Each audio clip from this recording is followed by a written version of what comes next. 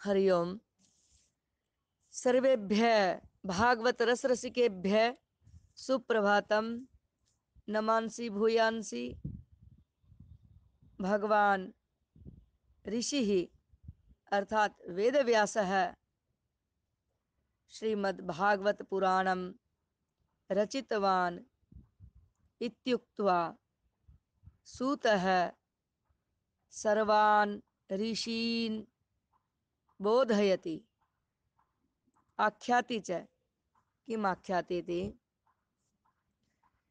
निःश्रेयसाय लोकस्य धन्यं स्वस्त्ययनं महत् तदिदं ग्राहयामास।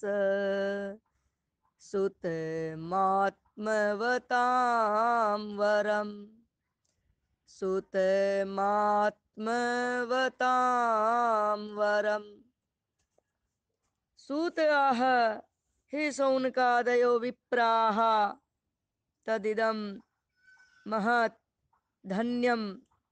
स्वस्त्ययनं श्रीमद्भागवतं शास्त्रम् आत्मवताम् आत्मवतां वरम।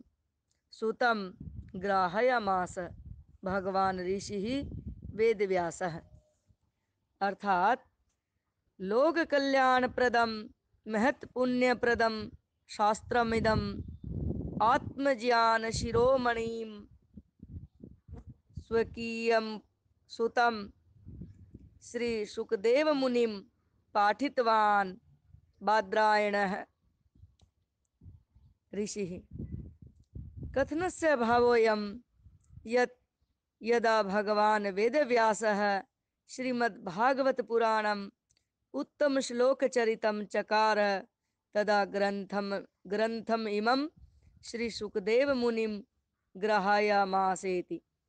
अस्य शास्त्रस्य प्रचारं प्रसारं श्रीसुखदेवमुनिना कृतं नमो नमः। धन्यवादाः।